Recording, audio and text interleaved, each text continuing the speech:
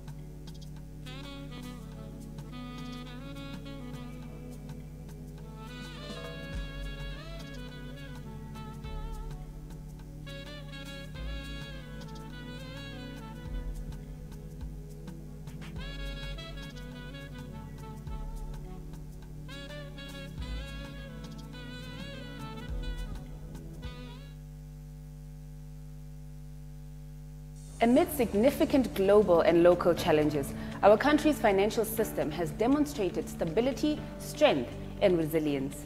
The Monetary Policy Committee, MPC of the Bank of Namibia, ended its two-day meeting yesterday.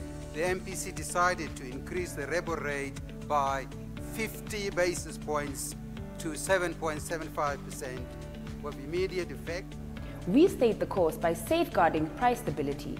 Borrowers benefited from access to credit, while savers preserved their savings amidst a monetary policy tightening cycle.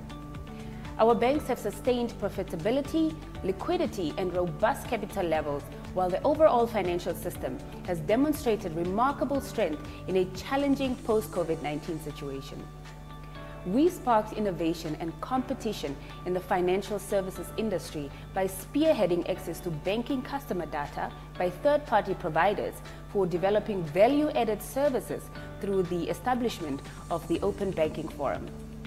We have transformed point-of-sale transactions by setting guidelines for the standardization of quick response codes within the national payment system.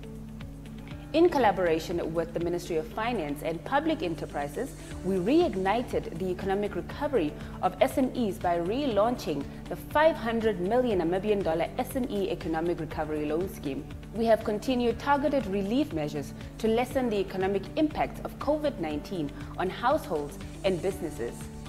We ensured an adequate currency supply, achieving a record increase in currency in circulation from 4.9 billion Namibian dollars in 2022 to 5.2 billion Namibian dollars in 2023. The Virtual Assets Act to license and regulate virtual asset service providers was passed and the bank was given the responsibility to ensure their effective supervision thereby protecting the public from engaging with unlicensed traders and promote financial stability.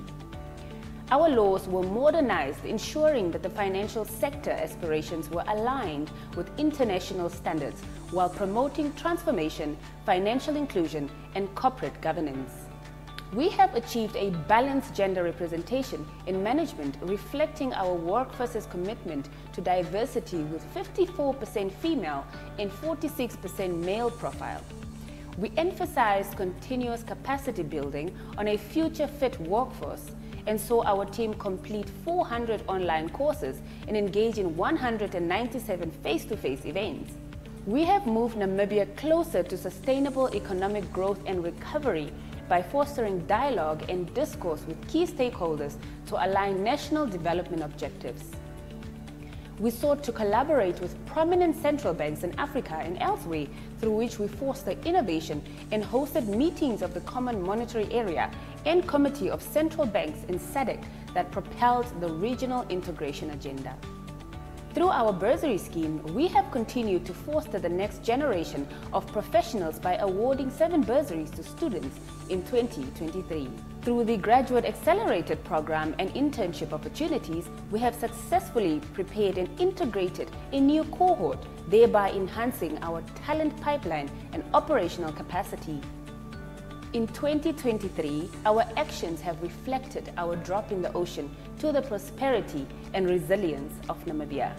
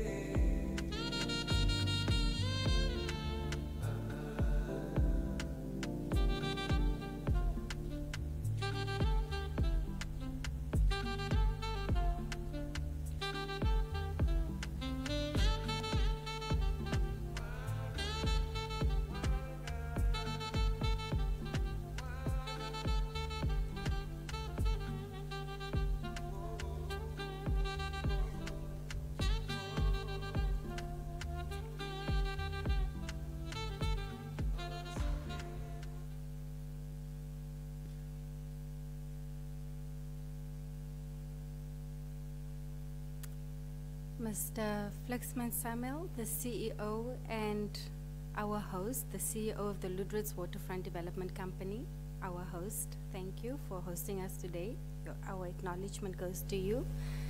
Uh, the honorable councillors present here today, um, our invited guests, uh, members of the public, members of the media, viewers who are joining us online and from our uh, social media platforms, ladies and gentlemen, good morning.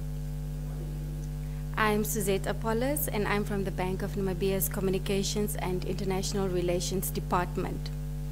Hosting events such as this public lecture holds immense value for the Bank of Namibia. These gatherings offer invaluable opportunities for us to unite, exchange ideas, and mutually learn. Furthermore, they exemplify the bank's dedication to spearheading the national development agenda through its re- research capabilities, which directly shape policies that impact us all. Therefore, the significance of such events cannot be overstated, and they are crucial for our collective adm- advancement and prosperity. Ladies and gentlemen, some of us in the Bank of Namibia team, including our governor and myself, hail from the south, and we are very proud of this.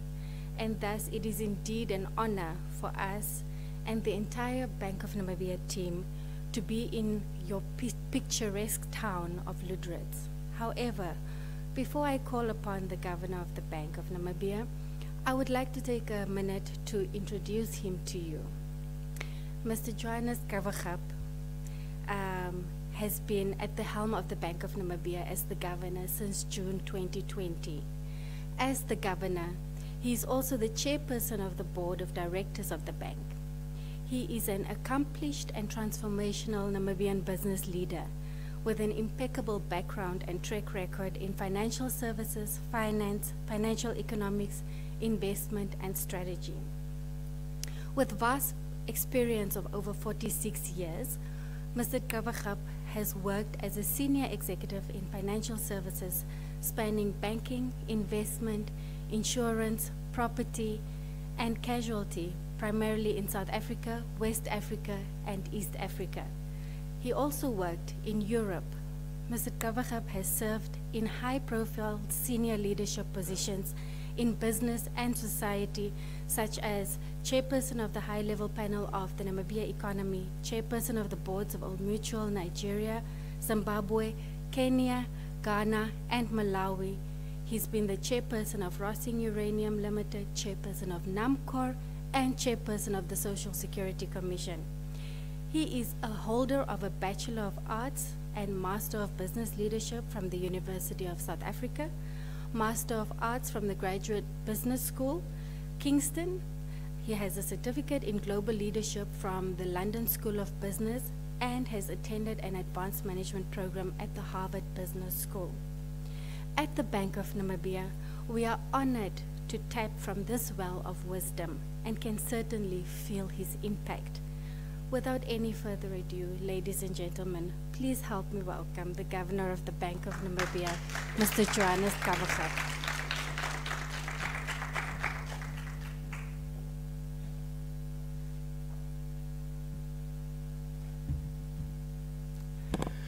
Thank you very much, Suzette, for the kind and generous introduction. Good afternoon. For everyone in this auditorium, everyone that's following us on social media, welcome to this public lecture titled Positioning Namibia's Oil and Gas Endowments, Avoiding the Dutch Disease.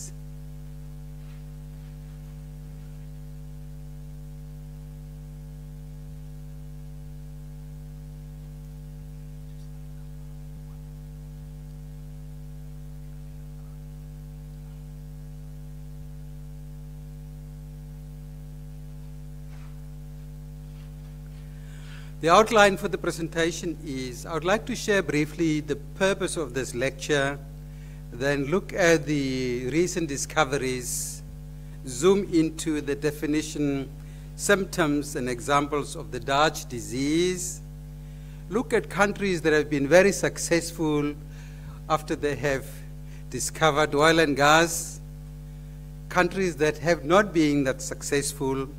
And when I talk about those countries, it's really not to blame and say anything bad about those countries. It's merely to demonstrate the point of who were the winners and who were the losers. What are the lessons for Namibia for countries that have discovered oil? What must we do and not do? What are the options for Lüderitz? What are the opportunities for the ǁKaras region? And then recap options for Namibia. There are so many young people that are asking me, oil and gas is coming, hydrogen is coming. Where must we position ourselves? Hopefully towards the end of this presentation, I'll have an opportunity to zoom into those opportunities that you can start positioning yourself to. And then talk about what is the Bank of Namibia doing and conclude the lecture. If there is time, we can take a couple of questions. If we run out of time, hopefully our communications department can facilitate another interaction, how we can deal with that. So the purpose of this public lecture is how to position Namibia's oil and gas endowments and manage the inherent Dutch disease risk that comes with natural resource development. Now, in early 2022, significant developments regarding oil and gas discoveries were confirmed in Namibia. The discoveries of potentially large crude oil reserves in Namibia have initiated discussions on its potential impact on the Namibian economy and how it could alter the course of development. We all know that between 2021 and 2023, oil and gas discoveries in Namibia have drawn close to 25 billion Namibian dollars, equivalent to close to 2 billion US dollars in foreign direct investment.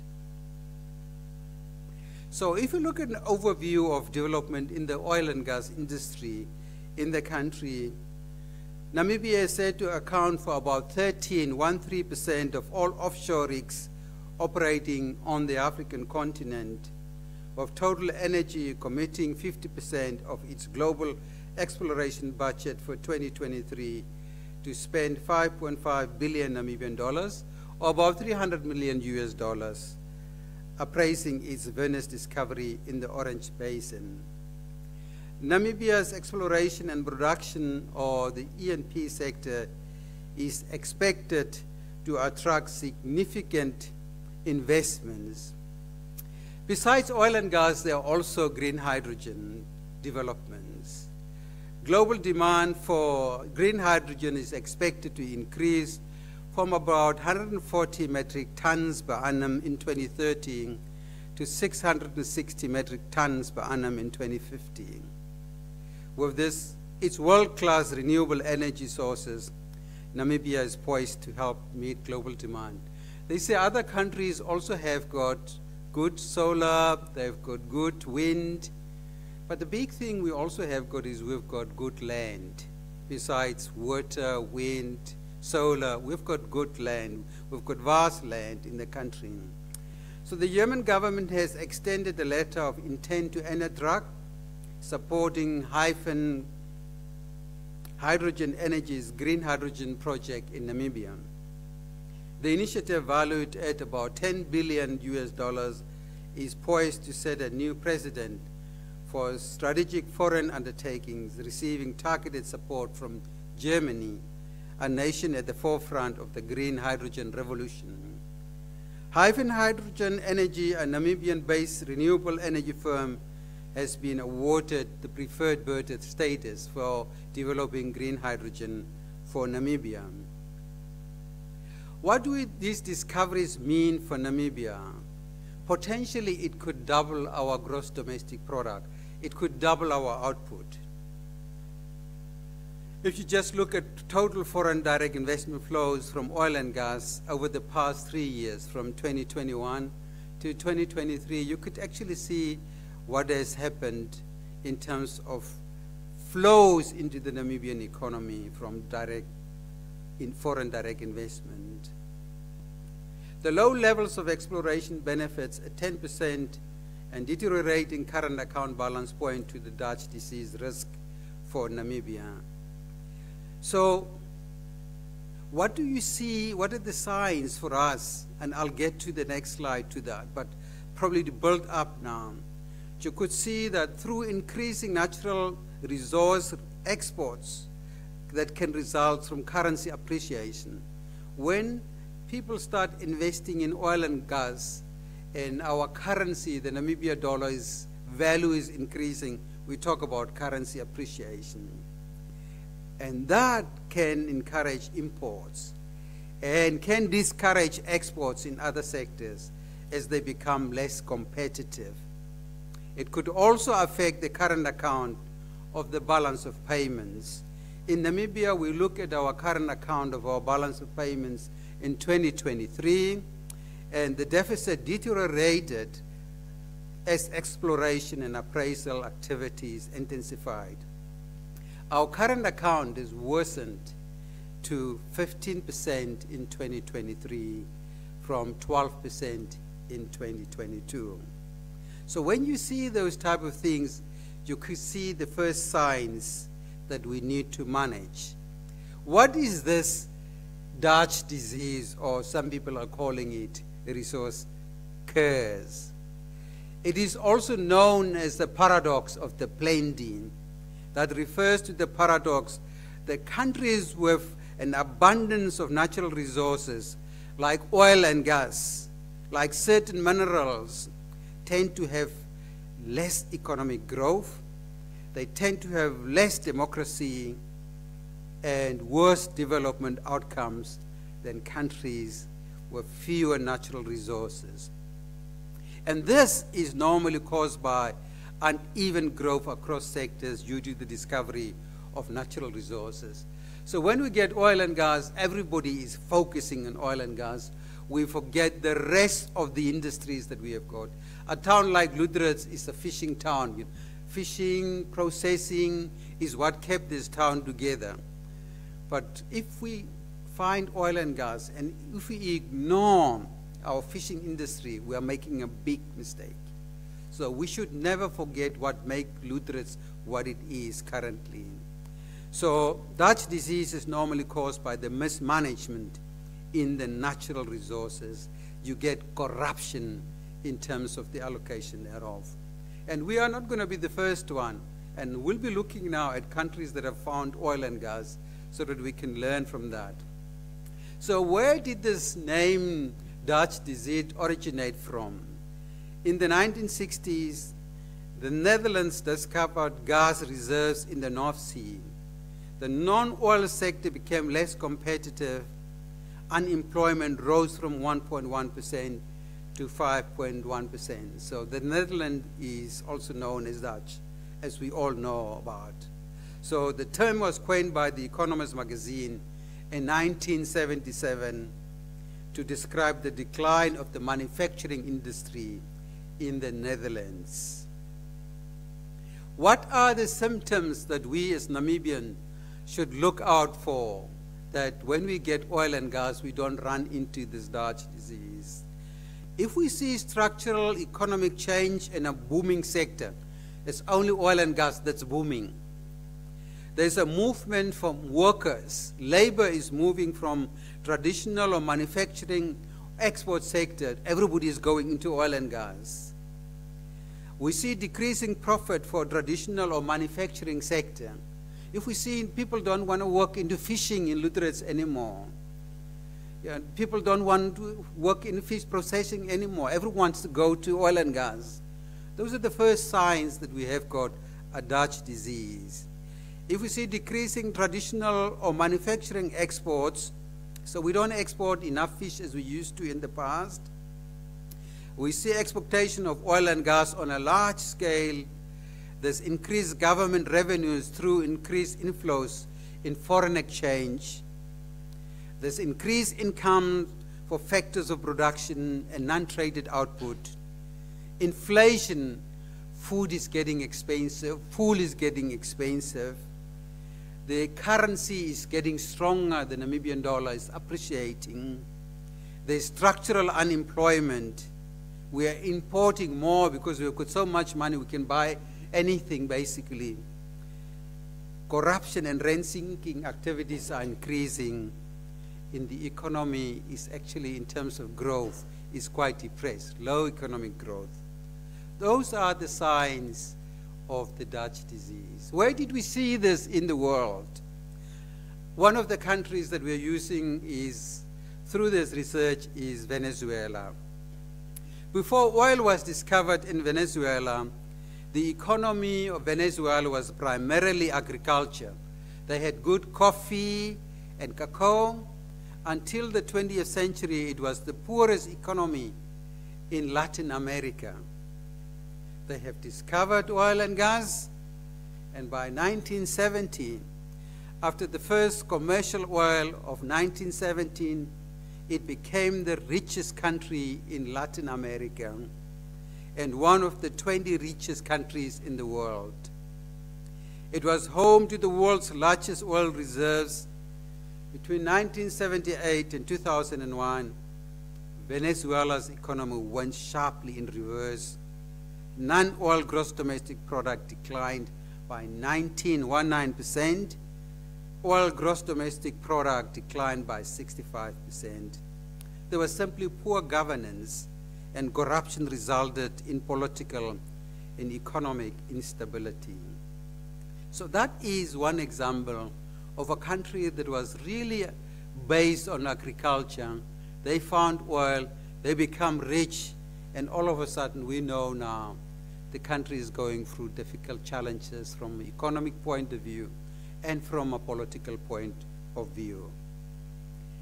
Another country with a more recent history and I said, when I started off, for those who are only dialing in, it's not that we are saying bad things about these countries.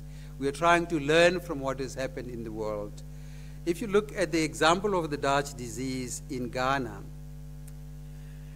Ghana discovered oil in 2007. Commercial production commenced in 2010. It achieved high income and economic growth after periods of low and negative growth before the discovery of oil. They have got the highest gross domestic product growth of 14% at one stage.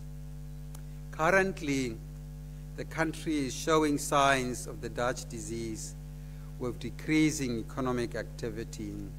After COVID, the country went and borrowed a lot of money offshore, and currently they are going through a very difficult time in terms of the debt that they have got, the currency has weakened in the meantime now, and they have been bailed out by the IMF. IMF actually gave enough money for the country just to see it through. They have neglected the agricultural se sector. You know, Ghana is one of the countries well known for cacao. So they have neglected the agricultural sector with its contribution to gross domestic product declining from about 30%, 30% in 2010 to 18%, 18% in 2020. Another country that we all know is Nigeria as well. Now, before oil was discovered in Nigeria, it was mainly an agrarian economy. And agriculture contributed about 72 percent of the output in 1950. After they have discovered oil, agriculture's contribution to gross domestic product dwindled to about from 72% to 21% in 2021. Manufacturing output averaged less than 10% of gross domestic product between 2005 and 2022 we know what has happened in Angola, in, in Nigeria as far as oil is concerned. That's Dutch disease. Also not far from us in Angola, they discovered oil. They exploited onshore since the 1950s. But in the late 1960s, major offshore discoveries attracted multinational investments. We see currently TotalEnergies, we see Shell, we see Galp. That's the type of investments that Angola also attracted. The country's powerful oil and gas industry has enabled the country's rapid growth, but there was an over-reliance on those revenues, and that has posed major challenges for Angola. It is estimated that the number of Angolans living below the poverty line is between 36 and 68 percent of the total population in Angola. However, Angola has learned from the mistakes and are turning over a new leaf. If you visit the country now, they have seen what mistakes they have made and they are trying to turn it over now so that the country can benefit. After the oil crash, in 2016, the oil, oil price crashed and it cost the currency, the kwanza, weakened significantly, about 51% from about 105 kwanza per US dollar to almost 159 kwanza just to get one US dollar. So our currency, the Namibia dollar, if we are not careful, and if we do what the other countries like Woodruff mentioned have done, we could see a depreciation of the currency. They struggle to import due to fall in the oil revenue. We have quite a lot of tourism, whether it's quite a lot of Angolan colleagues were coming to Namibia for doctors. There's a lot of students that were coming because they were doing so well with the oil. But after that oil prices crashed, we have just seen all the people that used to come from Angola to Namibia, to the doctors, to universities, that were renting houses that have dried down because the currency has crashed. So these graphs that you see, they are all telling the same story, despite the different numbers depicted in each one of them. Growth is not guaranteed simply because you have discovered oil. Many people think if we get oil and gas, we're going to grow like nobody wants that. It's not guaranteed. Without proper management and a visionary plan, growth for Namibia will not be realized. But with proper management and firm visionary leadership, we can realize economic growth from the riches that oil and gas will bring. These are oil, all oil exporting countries, but the growth is not constant. Just have a look at that. Growth is so volatile. It's not on an upward trajectory. Granted, there will be periods of economic downturns that are unavoidable, such as COVID, but these countries experience periods of extremely low growth. And any commodity that you have got, whether it's oil, whether it's diamonds, the price never stays the same. It's always volatile. So we need to make sure that there is not over-reliance on one commodity. But again, there are also success stories. Not all the countries that have found oil and gas are failures or did not succeed. If you look at a country like Norway, Norway took a different direction from the rest of the oil producing countries. They took the decision not to rely on the oil to finance the budget except in small percentages. They kept the oil revenue separate and took only 4% annually to support the general budget. The Norwegian government focused on fighting inflation, devolving educational, technical, and industrial planning. And that's what they have done. They have created a fund from the oil revenues that they have received called the Government Pension Fund Global. And we know that Norway is investing significantly in the rest of the world. They have cleverly negotiated contracts and operating terms set by the Norwegian government ensure that all citizens, all citizens benefited from oil in Norway. The UAE, United Arab Emirates, also a success story. It's always a desert that we see there. but everybody is going to Dubai nowadays. Tourism and hospitality. The UAE has made significant investments in building world-class infrastructure and iconic attractions such as the Burj Khalifa and Palm Jumeirah. Dubai and Abu Dhabi have become major global tourist destinations, attracting millions of visitors each year. If you look at financial services, the UAE has established itself as a regional financial hub with Dubai leading the way. The Dubai International Financial Centers attracted numerous multinational corporations, banks to set up shop. And they have really diversified into tourism, financial services, trade and logistics, technology and innovation. So what are the lessons that we can learn as Namibia from all these oil-producing economies? First one is long-term planning. We need to have a long-term goal of what we want and where we want to see the country in the years to come. If we get these oil revenues, there must be a plan what we want to do with that. We need to avoid complacency when revenue starts to flow in or become wasteful and start spending as if there's no tomorrow. We need to ensure strong and competent institutions that are transparent and free of corruption. We need to have strong institutions in our country.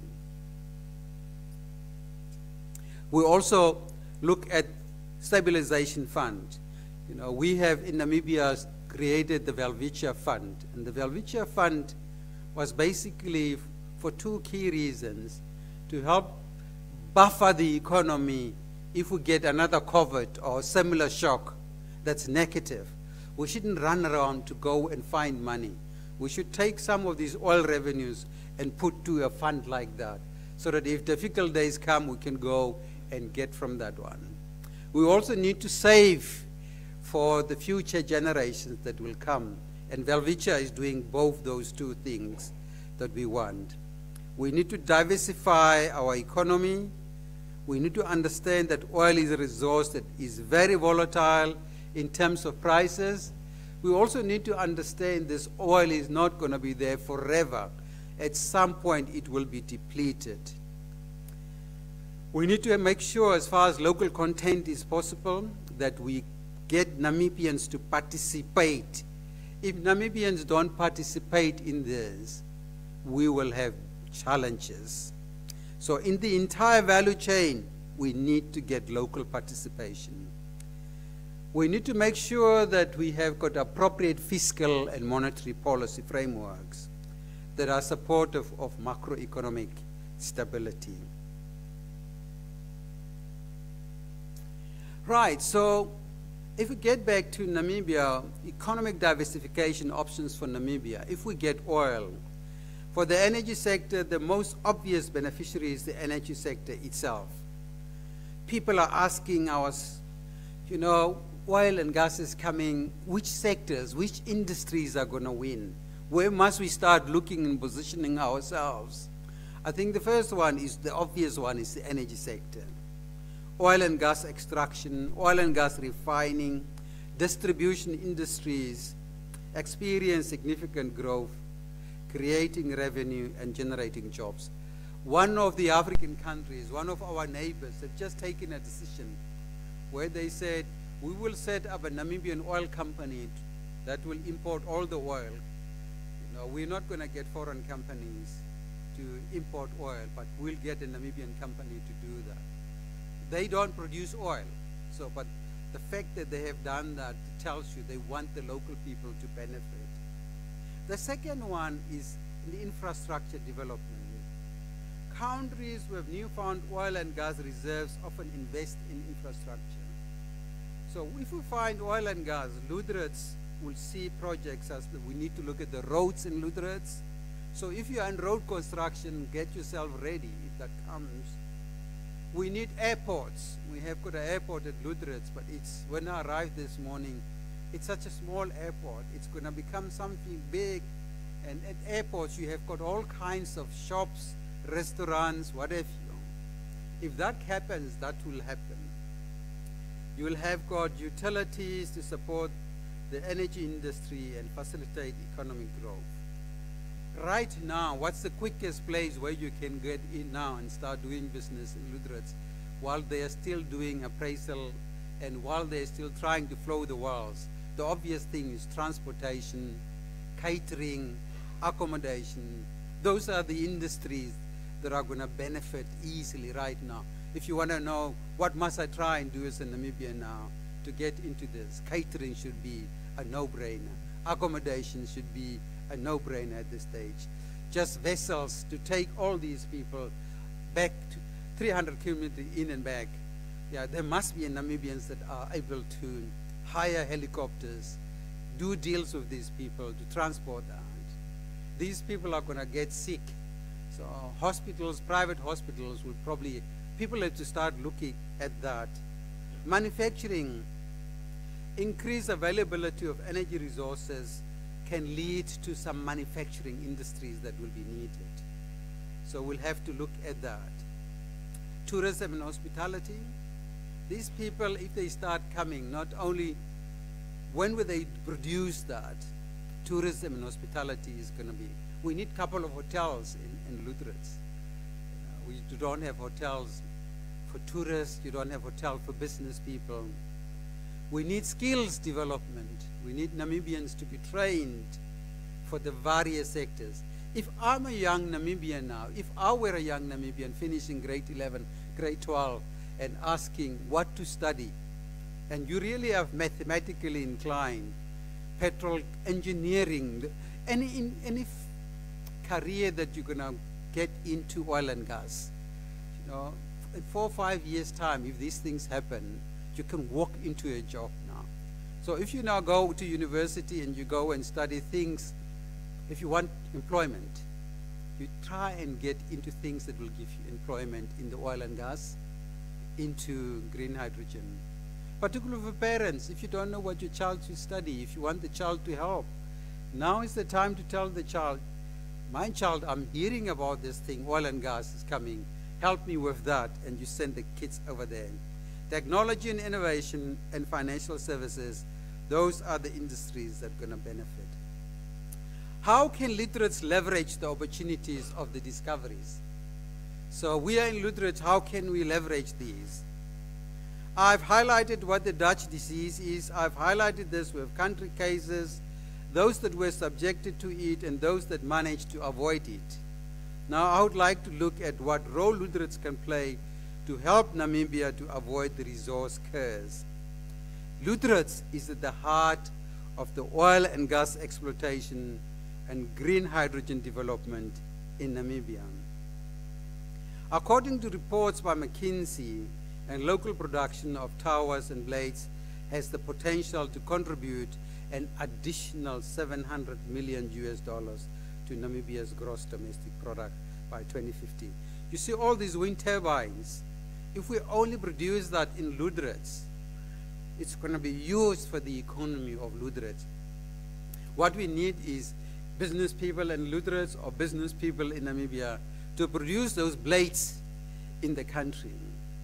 Current manufacturing projects in Lüderitz are centered around fish and fish processing.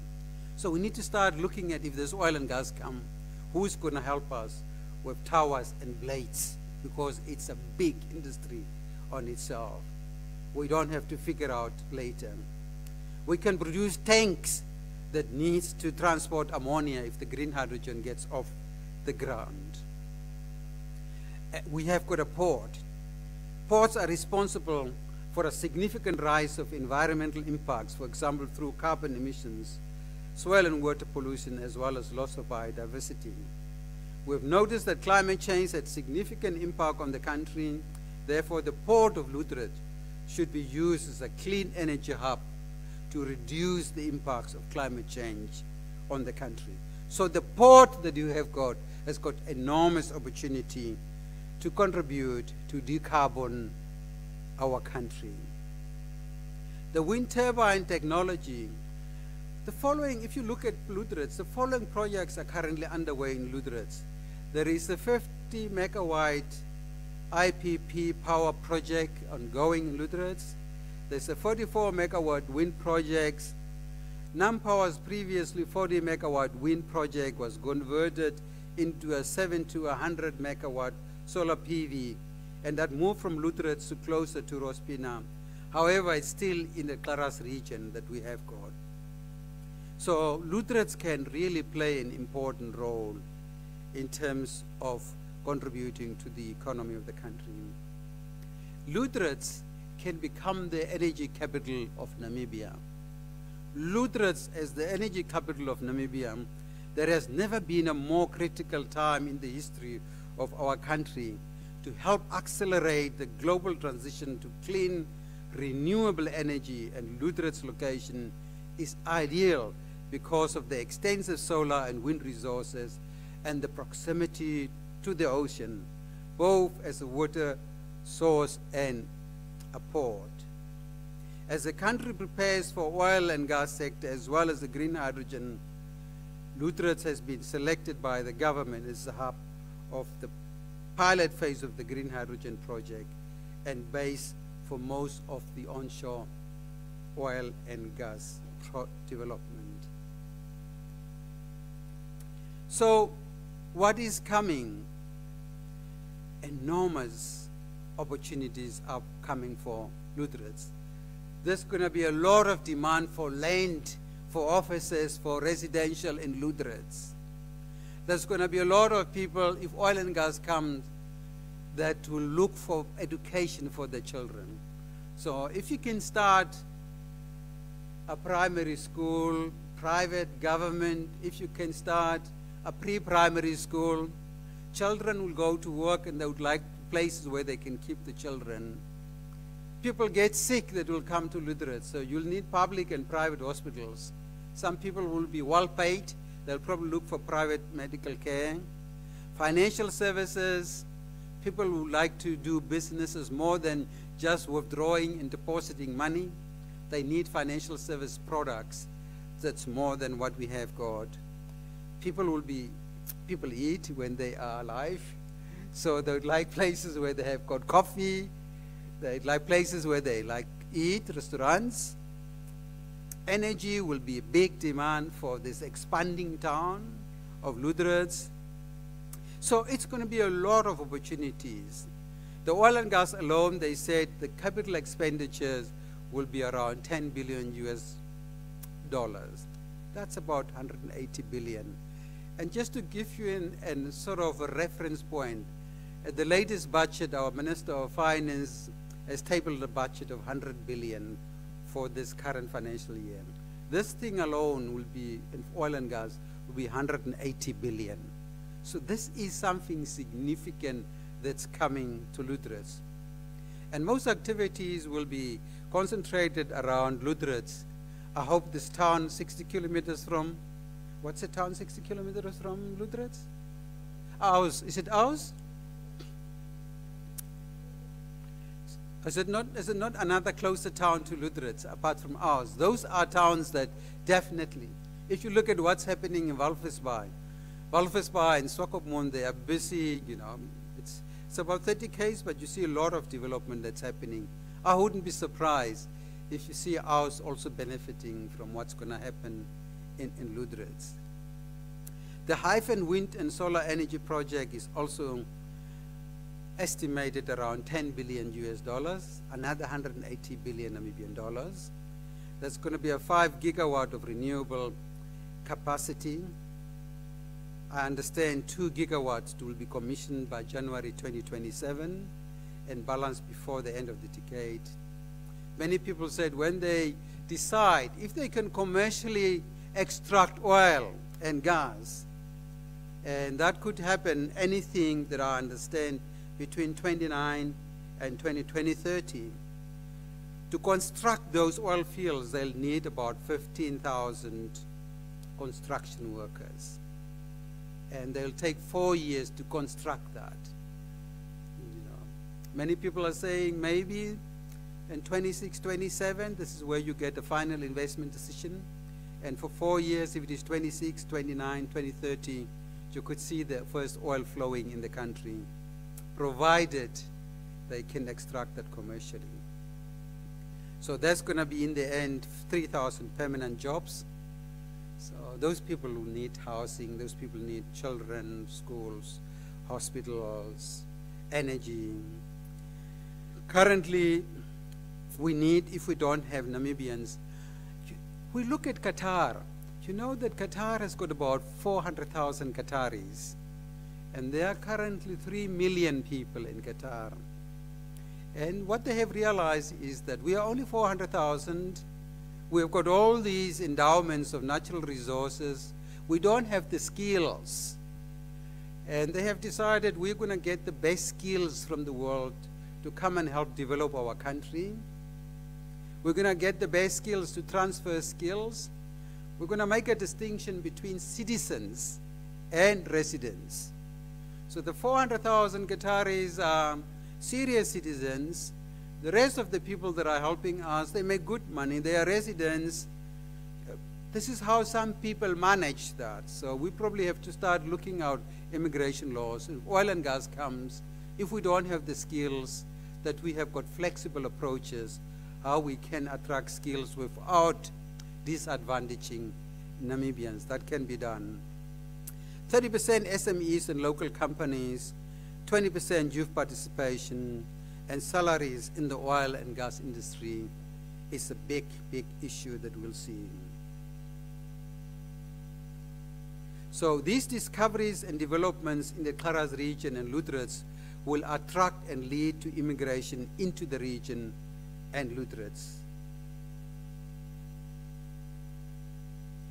So you know better than I do about the expansion of the town of Lüderitz that's being planned. As a positive and important first step, the town council has developed a plan to expand the townland area of Lüderitz in six phases. However, a number of challenges will collectively need to be addressed, including existing mining licenses and EPL allocations preventing delaying the urban expansion. We'll have to look at the topography to the east and north of the town that restricting the use of available land.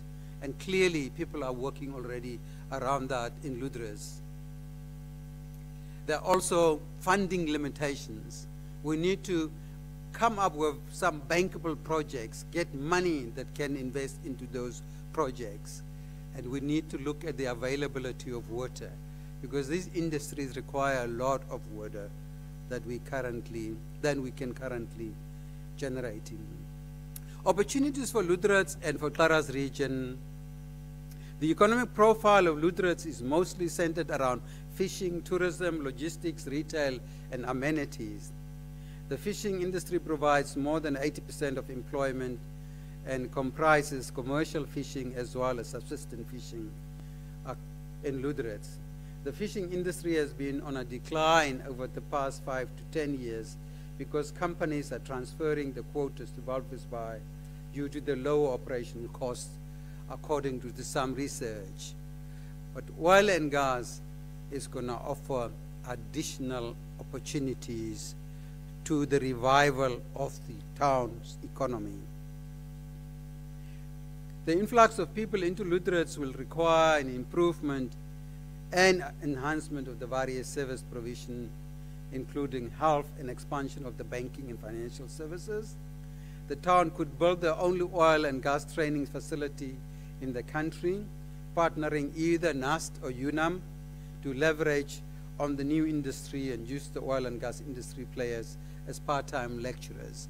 There are so many retired people that would like to come and lecture here in, in Lüderitz. Um, the first thing we need to start looking at if we get oil and gas is to really get either NUST, IUM, or UNAM to, to have a campus here.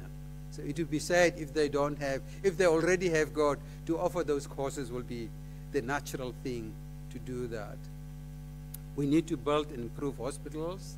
We need to expand provision of banking and financial services and we need to build training facility for oil and gas and green hydrogen. The Neckartal Dam, Namibia's largest dam, is situated in ǁKaras region. It was reported to be 89% full in November 2023. The abundance of water and land presents numerous opportunities, such as irrigation of green schemes. You know, by now, we should utilize the water from Neckartal Dam to feed ourselves. Food security is such a big challenge with climatic challenges we have got in the country at this point in time. Some parts of our country have not received good rains, and we are sitting with Neckartal Dam that can contribute to ease food security challenges that we have got, and that's an opportunity for us. How should Lüderitz and the ǁKaras region get all this done? I think mapping the future of Lüderitz will require the nation to collectively address several crucial factors. First and foremost, sourcing government and development funding will be essential to ensure that adequate resources are availed for infrastructure development. You will really need to allocate money to develop the infrastructure that will support these new industries that will come. I don't think Lüderitz Town Council alone will be able to fund the infrastructure that's required. We'll need the central government to, to help with funding with that. We need to monitor existing mining licenses and EPL allocations. We need to get the buy-in of key stakeholders in Lüderitz and ǁKaras region.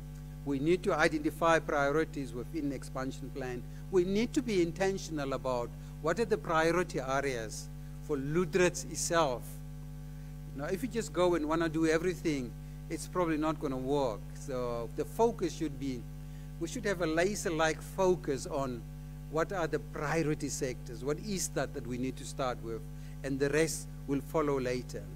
We plan for rail, road, air, and port facilities upgrade. How do we start? How do we phase? How do we bring in business people to help us with this? Because as business people and Lüderitz, we can do that, but on our own we won't. We need to follow the example of what Qatar has done that. To recap what my presentation was about today, we need to avoid the resource curse. We need to avoid the Dutch disease.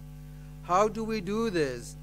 We need to build competent and capable, accountable institutions.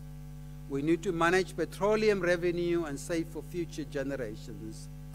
We need to diversify our economy.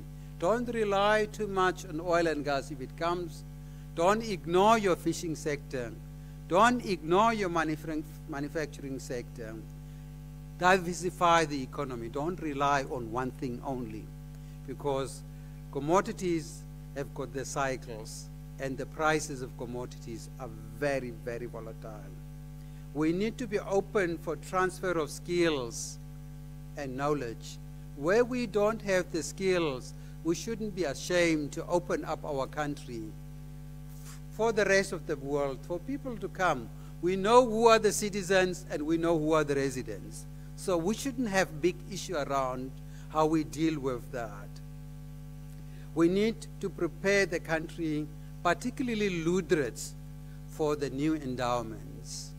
And we need to plan it from the center together with the local councillors, together with the leadership of Lüderitz, we need as a country to collectively plan for what is coming. Because if we leave that only to Lüderitz, it's not going to work. Or if you do it without Lüderitz, it's not going to work. So what we need is a collective approach as Namibians and as Buchters to go and help set up our country for what's going to come. We need to maximize, thank you, maximize local value creation. We need to prepare Namibian industries.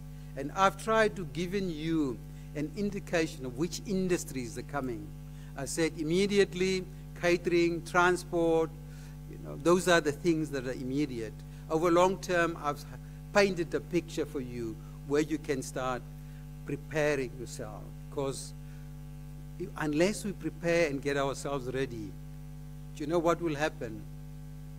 The train will leave the station and will be still be on the platform, waiting for the next train. And we'll probably miss the second train as well. So we better start prepare for the train not to stay on the platform. What is Bank of Namibia doing? We are doing research about the oil and gas, the impact, the lessons, what happened in the other parts of the world. World, we try and do research to understand the dynamics of the oil and gas industry. What are the potential implications for the economy of oil and gas and green hydrogen? What are the potential implications for exchange rate and for monetary policy? That's what we are trying to understand. We manage on behalf of the government in conjunction with the Ministry of Finance, this Welwitschia Sovereign Wealth Fund. And you've received the figures. We started the fund something 262 million, and it's now worth more than 422 million Namibian dollars. So it was a very good approach from a very responsible decision by the Namibian government to start a fund to help cushion the country against external shocks and also to save for future generations. In conclusion, Lüderitz is a unique opportunity to be a leading economic hub in Namibia and an example of prudent natural resource management that benefits Namibia and its people. Thank you for listening.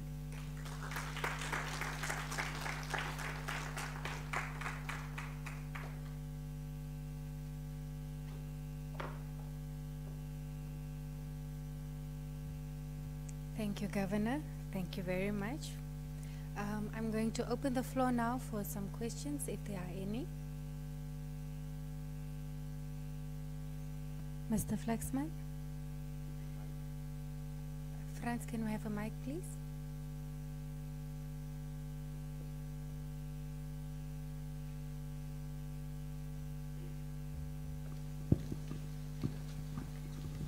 Yes, oh, thank you very much. Uh, well, may, may, I start by welcoming Mr. Gawaxab and your high delegation uh, to Lüderitz and to the waterfront premises. Well, thank you very much. I think the, it's a very enlightening uh, presentation. I agree fully with the context uh, in which you share your presentation. I think for the purpose of of this audience, I may also just maybe give some um, um, information as to what is already happening, which is in line with your presentation. Um, way before, uh, before the discovery of oil and gas, and also way before green hydrogen um, was brought into the picture uh, about 10 years ago. The Lüderitz Waterfront Development Company, which is a state-owned company, um, did certain things, I think, to ensure that uh, we are prepared in any event, because we always believe that Lüderitz will rise again. So uh, we are busy uh, planning to to build a hotel um, this year still. Uh, it's the first hotel to be built since 1998. A Seaview Hotel with a business with a private partner. Uh, we are also, of course, um, engaged with uh, private partners to set up 150 bed private hospital on the land that we own. Uh, we are rolling out very soon uh, infrastructure to provide offices because there is a, already now there is a crisis in this town. So we are already addressing that. But certainly, um, and of course apartments, uh, sea view apartments, because the middle class and up, uh, they have a, big challenge uh, in terms of uh, finding uh, accommodation. So those issues are we are addressing. As you may realize, of course, government has allocated 88 million for the current financial year to the Lüderitz waterfront. It's the highest amount in any financial year that has ever been allocated to the Lüderitz waterfront. That will enable us to to complete this this particular development, this building, the transformation of the old power station. Certainly, 10 years ago, we approached government as part of the submission also to ask government to include, as part of this development, to include a university. So NUST is already here. Uh, they did some bridge courses for those students who couldn't make it to university.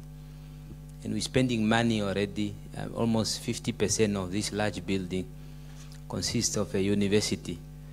So what I'm trying to say, of course, uh, issues of restaurants and things like that, we we have been able to address that, and we will continue, I think, to to address infrastructural uh, backlog that is here in town with the support of government.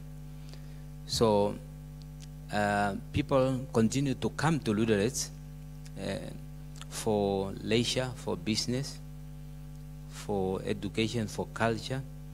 The town never had even conference facilities, which we have built. And uh, just about, as I conclude, as I conclude, uh, Mr. Gava, Gawaxab, is that um, just in two weeks' time, we are going to host oil and gas in this very room. Uh, had we not created this facility, Lüderitz would not have been a destination to host these things. During the month of June, for the first time in the south, we are going to host Miss Namibia here. So I think I just wanted to give context. Thank you. Thank you, Mr. Flaxman. Um, at this juncture, I just quickly would like to um, acknowledge our NBC viewers that were uh, live with us online. Um, and we would like to say thank you for having joined us. Um, and with that, we've come to the end of the official part of the program. Um, however, in this auditorium, we will continue with the discussion. So thank you very much to the NBC live audience that we had. Thank you, Mr. Flaxman, for that contribution. Um, I will go on to the next question now. I see there's a gentleman in um, a reddish shirt. Is it reddish? yes, sir. I'm looking at you with the, the specs. If you get the mic, please just um, also um, give your name and, and, and, and shoot with your, your question. Franz here. Oh, thank you. Yes, please go ahead. Thank you very much. Uh, my name is Alex Kavanap. I'm usually called Alex Kavahap, but it's okay. Um, I just want to pose two quick questions, um, Mr. Gawaxab, and I will not add to what Mr. Flaxman has said. You were cordially uh, welcomed to Lüderitz, our town. Um, I stand by that protocol. So my question is not general, it's not necessarily only focused on oil and gas, but there's a lot of potential in investments, foreign direct investments in mining and other fields. Um, do we really, as Namibians, value our goodwill? In, and with that, I mean, if you look at the value of these investments, which would span over 20 years, and we are given a minority shareholding in these endeavors of 10, 20%, uh, is that really sufficient for us to give our goodwill, our ownership of our, our resources for that 20 year period of investment? That is one question. I've listened and I've read a bit about similar investments, especially in the UAE, where the locals and citizens and the government own in excess of 71% for such. Uh, so I'm just asking, are we doing well? Second question, Mr. Gawaxab, is you mentioned that our, with the investment, that our currency will increase in value with such discoveries of oil.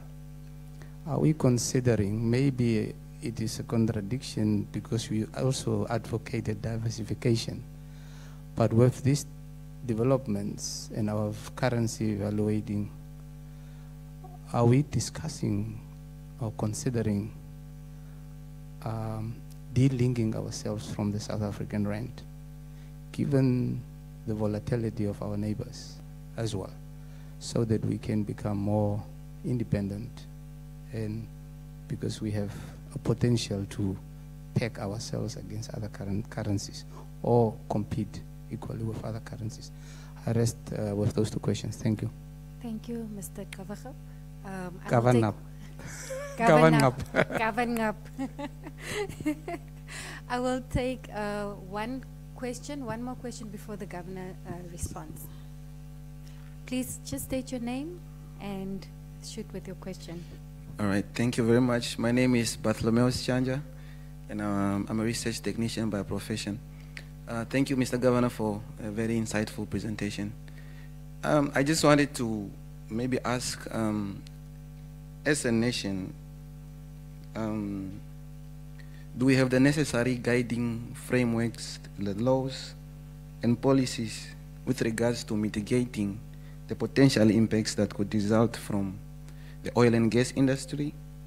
Do we have the laws in place already, or are we still also um, consulting, or are we still trying to get these laws in place?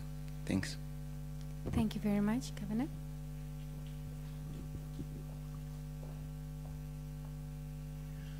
Thank you very much for the good questions. Mr. Governor, your questions are quite powerful and very strong. So, if I hear you correctly, it's about do we value our natural resources that we only own about 10%? So, 10% is carried interest. So, currently, our oil company, Namcor, owns about 10% in most of these blocks. Are we comfortable with that 10%, or should we go to a 70% like other countries? You could probably, theoretically you could, but you need to fund your 70% and 71%. So there are two streams that you normally have as a country, two regimes. The first regime is what Angola did, what Nigeria has done, and what other countries have done. They own 70, 80% of the oil fields. So if you can find the money, you can probably do that. If you don't have the money, you probably go the other route of owning 10% and to be carried until the production is up there and you earn from that. So theoretically, that's probably nothing stops you, but we have opted as a country for the carried interest regime at this stage. That's why we own only 10%. So your question is valid. Is it right? Is it wrong? That's everybody's guess. So if we believe we could put in, because, you know, uh, we, we got a presentation the other day and it costs about 120 million US dollars just to drill one well. So if you know 120 million US dollars, not Namibian dollars, because if you think you can find that money to do that, take that risk, because because you drill, it doesn't say you are guaranteed of success. So how many wells were, did we have that were dried in the past until we got the latest? So, so had we had that money, or we could have funded or mobilized that money and come in and drill that one, we could probably have owned the 70, 80% of that resource. But we have opted and said, oil majors, Total Energy, Shell, here are EPLs, come into our country, carry us for 10%. What you lose while you are drilling, it's up to you. We don't carry anything. So that's the route we have taken as, as a nation. So, um, is it right? Is it wrong? Only time will tell. But all I know is we didn't have the money to, to drill and to do appraisal drilling. Because you drill and then your next step is you do need to do appraisal drilling. After you have done appraisal drilling, you also need to go and spend money to see whether you can flow the well. Because this well that we are talking is offshore and it's about six kilometers below the, below the water. So it doesn't say because you found the that we're going to develop this thing. Can you take it out commercially, sell it, and make money out of that.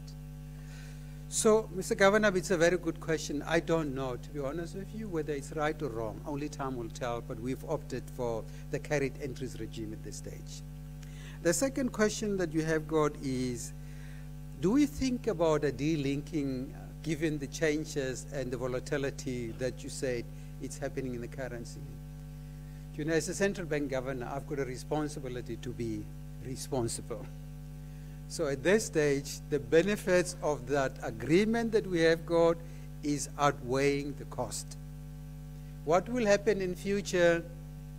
Clearly, if the economic structure of the country changes, if the trading benefits that we have got from the arrangement is diverging, if there are monetary policy implications of this changing structure, we'll have to pause and say, what are the implications of all these for the exchange rate regime choice that we have got. It will be stupid not to ask that question. But at this point in time, there is no thinking about delinking from the current arrangement. I hope that is clear. Then, do we have guiding frameworks, policies? If you expect us to have everything in place, we probably don't have. Do we have the basics to start off with? I think our Minister of Mines and Energy have done an excellent job. You know, they're going everywhere to go and learn. As we have done with Bank of Namibia, we've sent staff to Norway, we've sent staff to Angola. Bank of Namibia sent people to Guyana to go and learn. And the Minister of Mines and Energy is going all around the world. They're using all the expertise they can to get the basic laws and the frameworks in place. They even advocate the localization of the industry and the value chains. But if you think we need to have everything ticked, uh, we don't. But it's also understandable there's something new. So we're going to grow with this, but the basics that we require is in place.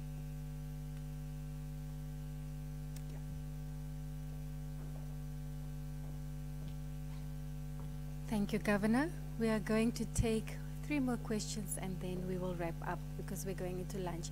There's a hand here in front. Um, I see here in front, sir, in the blue blue shirt. After which we will go with the lady in the red shirt. There's another hand there, and then if there's time, was were you first? Okay, we number three then. One, two, I think I saw her hand as well. If there's time, we will take your question, ma'am. Thank you. Mm, thank, thank, thank you very much for the opportunity. My name is Asar Mukapuli. I'm a local resident, very much interested in the development of our town. I, first of all, really would like to commend uh, our governor and uh, the Bank of Namibia for coming to us, coming up with this initiative. Um, because sometimes we feel left out. But when you, like the Bank of Namibia, come to Lüderitz, then uh, it's so important. And the information you brought, the, the opportunities that are there in the business, and then also the information about this terrible disease that I never heard about, the Dutch disease. so we'll try to do everything to prevent it. Um, my I, I, need more clarification than a question. And it is more, you, uh, Mr. Governor, you mentioned something about the energy supply to Lüderitz, satisfied through this new six megawatt station, 80, 80%. I don't know whether this is hypothetical or whether it is true. Maybe that can be clarified by our local. Uh, I thought this is being uh, fed into the, the central grid. Uh, that's the, the question. But I also wanted to add that you you were having questions there as to what should the Bank of Namibia do, and then you had four points there. I want you to concentrate on the Welwitschia Fund because that can only mean something. It's a sustainable uh, point that I see for the future. And one thing I want to say to my people, the people of Lüderitz, because we are also here waiting for things to happen, big expectations my advice to you is let's rather not ask what the government or the Bank of Namibia or whoever can do to us, but rather what can we do? What can we bring in? So let's be prepared, as we have said. Thank you very much. Thank you, sir. Gentleman in the back, in the blue shirt. Uh, good morning. I'm Paul Herrero. Um, I have more of a comment rather a question. My my concern is the ease of business that we are uh, currently the, the, the ease of business is is is is is, is very difficult, especially for a local person. We need more uh, uh, more open uh, uh, open door policies in the in the offices the the the the, the, necessary offices because we we as Lutheran uh, citizens we are ready. We are ready. We we only we only want when we go to an office say if I want to go to Minister of Mines if I go to to, to, to, fisheries if I go to to to to, to, to en- environment we want equal treatment and then also in, uh, in terms of the, the government taking the route of, of, of, of, of the caring interest, I, I think that is more safe for our country, uh, taking account our skills base.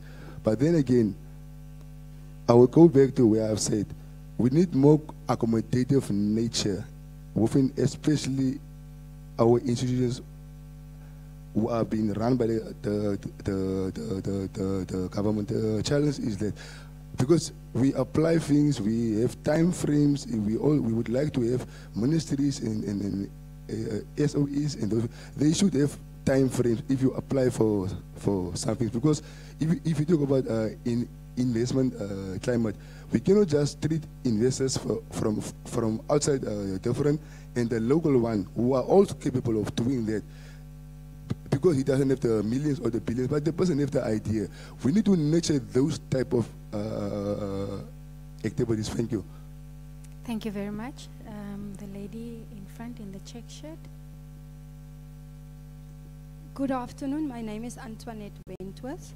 I'm working for NUST. We share an office in the very same historic building. I am sharing and like to express my gratitude, um, the same as the previous speakers, for the transparency and the presentation, Mr. Governor. Um, I couldn't help thinking of a pebble in a pond when I listened to your presentation. The fact that all the sectors within Namibia is touched with this um, discovery. What I would want to find out, I know that deliberations are ongoing with um, all the stakeholders in the right places. I want to find out how robust is the interaction, the engagement with the Ministry of Education to possibly start rethinking our curricula so that our students at school level already are prepared for intake at higher education and have a more decentralized education system. I thank you. Thank you very much, madam. I will entertain the final question, the lady in the red t-shirt, and then we are we are done with the Q and A session. Good morning, everyone. Protocol observed. Uh, my name is Victoria Nchebela. I'm the chairperson of the Ngamingus Constituency Youth Forum under the National Youth Council and the Financial Management graduate as well. Um, I would just like to ask this question for clarity purposes. As the government, governor has stated, we need to prepare ourselves as a community to start companies in certain areas. I would just like to know is the Bank of Namibia open for funding for these companies that are willing to go into these industries? Thank you. Thank you very much for that Q and A session. Um, I, before I hand over to the governor to respond to your questions, um, I will hand over to my director once the governor has addressed the questions. The, he is the Mr. Israel Zemburuka. You know him better as Kazembire Zemburuka. I'm sure you've seen him here and there in Namibia society. He is our Director of Communications, Strategic Communications and International Relations, and he is responsible for the reputation of the Bank of Namibia, the face and the voice of the Bank of Namibia. So thank you very much for having listened to me. And um, Governor, yes, please take it over. Yeah, before I respond to those questions, let me use this opportunity to thank Suzette and the entire team of the Bank of Namibia who prepared this presentation and this event for us. Thank you very much, colleagues. It's a pleasure working with you. The question from Asser is fed into the grid. You're probably right with that. You want me to zoom into the Welwitschia Fund. The Welwitschia Fund was set up between the Bank of Namibia and the Ministry of Finance and Public Enterprises for two reasons. We started preparing the country for if oil and gas comes and if there are revenues coming, what do we do with some of those revenues? Because we have seen what Norway has done. Norway has done exactly, they put up a sovereign wealth fund. They call it No Fund, and they are doing so well for that country. And we set this up from the dividends that we were supposed to declare to the government. We negotiated with the government and told them, let's put some of this into the sovereign wealth fund. And the reason for that was basically, if we get something like COVID, if we get a negative shock to the economy like that, something we haven't planned, we don't have to run around. We can go into there take from that and save life and livelihoods. That's the first reason. The second reason was if children, our children's children come one day and they found out that there was oil in the country or there were diamonds one time, they must also benefit from this because it's also their country. And these resources are not finite, they are getting depleted. So why don't we save for them? So that is why we have started this Welwitschia Fund, also known as the Sovereign Wealth Fund. I hope we can engage later. Paul's one was very much a comment that I agree with. People in Lüderitz need to be supported. You know, if they don't have the billions, they need to get the same treatment because they are the entrepreneurs. So I couldn't agree more, Paul, with your request then, but that's just a comment. Antoinette's pebble in the pond, rethinking curriculum. I'm not so sure how robust is. All I'm knowing is from the green hydrogen side, the German government has given quite a lot of money for bursaries. We have allocated a lot of bursaries for Namibians to do masters in green hydrogen studies. Quite a lot of Namibians to go to VTC and green hydrogen. So there is cooperation with the Ministry of Higher Education in terms of training Namibians for the green hydrogen industry. Whether we've started rethinking the curriculum, I actually don't know. So I'll lie if I say I know. I, I don't know. What I'm knowing is the country is preparing some people. Can BORN provide funding to, to in individuals? Uh, Victoria, the Bank of Namibia is banker to government and a banker to commercial banks. We don't give individual loans to business people. What we did recently together with the Ministry of Finance is after COVID, so many businesses actually have failed. So together with the Ministry of Finance, we set up the SME recovery scheme. We agreed with the four big banks in the country, why don't you take some of this money and help individuals?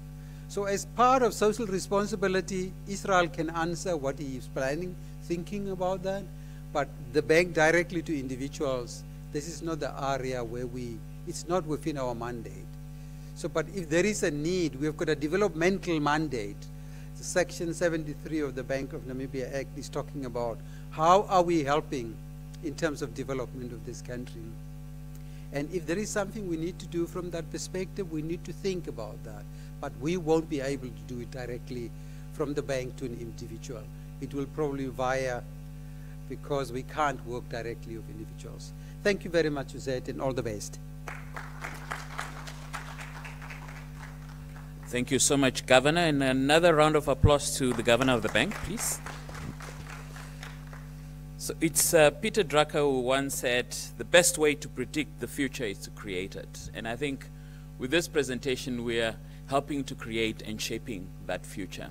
What is that future that we want to see? A future through which the youth of Namibia entrepreneurship innovation can be uh, can take shape and, and obviously it's a future in which businesses can participate. It's a future in which all of us have a stake in it. And I think with today's presentation, we've just laid that very foundation, and we continue to have this dialogue. And as the Bank of Namibia, we don't pretend to know all of the answers. And today, we just heard very good, solid recommendations and proposals from all of us in this room. And I think what is valuable going forward is for us to engage in this discourse, in this meaningful dialogue, so that all of us can open our eyes to the reality, to what is possible, and also to what are the challenges that remain. So this is the first step. This is the first amongst conversations that we need to have as, as a nation. But importantly, as stakeholders of Lüderitz and also the ǁKaras region, you need to be at the forefront of this dialogue. Let me then thank our host once again, Mr. Flexman Samuel, the CEO of the Lüderitz Waterfront, for hosting us graciously in this magnificent venue. Uh, a round of applause, please. Let me thank some people in this room that were my teachers. And uh, uh, one, one person asked me, Did you study outside the country? I said, No. I went to schools like Orianghab Junior Secondary School. I matriculated at Jan Jonker Afrikaner um, Secondary School. And the lady right there, Miss uh, Wentworth, was my English teacher, by the way. So we, we do stand on the shoulders of giants. So thank you so much. And to all of you that came here, to our counselors that um, uh, graced uh, this event, but also that have been very instrumental in shaping the developmental discourse in Lüderitz. Thank you so much for coming through and staying with us. To each and every one of you, thank you ever so much for coming through.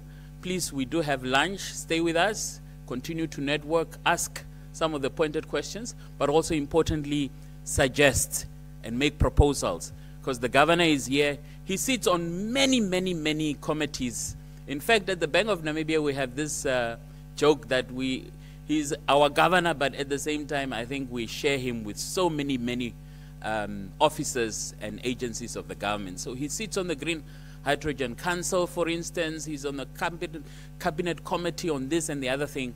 So he's the right person to talk to uh, in terms of this conversation that we are having. Most importantly, let me also thank our viewers on our social media platform we saw the engagements that was quite lively. Uh, uh, our former colleague, Mr. Gonzalo Pastor, who's uh, watching from Nairobi, Kenya, and all of the information that you have posted, the IMF working papers that you have posted on social media, and the engagements that you continue to have with us on this very issue, I think is instructive, and we continue to take those lessons to heart as well. So thank you once again to everybody. We'll be back tomorrow we are launching a very important uh, activity tomorrow. We are launching our 100 Namibian dollar banknote. It's a surprise. We have uh, brought this to Lüderitz, and we are launching it tomorrow um, and at the Lüderitz waterfront. So please join us at 11 o'clock if you are not busy. We are also having dinner tomorrow. The governor will be unpacking the objectives and the mandate of the central bank so that all of you can know whether you can come and take out a loan from us and all of those great questions that you may have around delinking, depegging, and what have you. Come with very difficult questions. We are having a stakeholder dinner tomorrow evening at the hotel um, next door as well. So join us for those two events. It's an open invitation. Um, if anybody asks you for a, a, an invitation card or RSVP, just tell them uh, governor invited you to the event tomorrow. So 11 o'clock we're at the waterfront. Tomorrow evening we're at the Nest Hotel. Thank you so much.